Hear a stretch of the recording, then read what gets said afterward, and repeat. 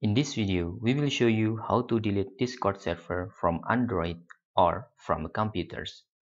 First, you can open your Discord.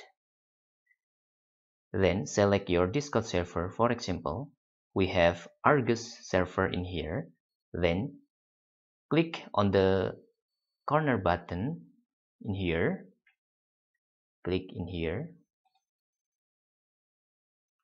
Then select settings Please scroll down, choose settings.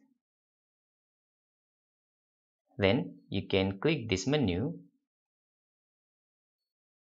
and select delete server. This is from Android.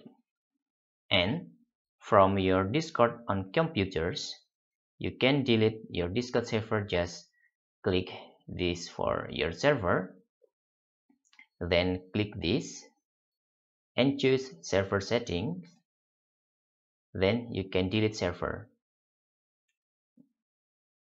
That's all tutorial how to delete discord server from android smartphone or from computers. Hope this video helpful for you